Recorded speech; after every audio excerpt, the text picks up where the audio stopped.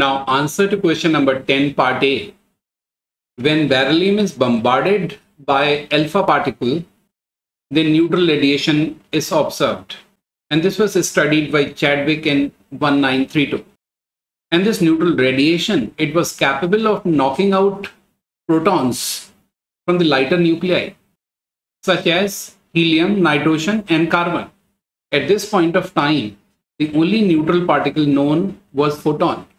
And we and if we consider this to be photon and apply conservation of energy and momentum, then it turns out the energy of this neutral radiation should be very, very high, which was contrary to the experimental value of energy obtained through the experiment. Thus, what we see that the theoretical value of the energy of the neutral particle is much higher than the experimentally observed value. And this controversy, this puzzle, was solved by Chadwick by considering the existence of a new neutral particle called as neutron. And the mass of this neutral particle was slightly heavier than that of the proton. Now let's come to the B part of the question. In this problem, we are supposed to explain two nuclei can have the same radius, still with different number of protons and neutrons. Yes, it is very much possible. I'll give you the example.